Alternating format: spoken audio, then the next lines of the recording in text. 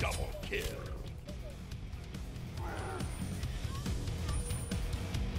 Triple kill. Damn, this Ne Zha is going off. Quadra kill. Not even death. Ne Zha just got a fucking pentakill. Assault. and assault.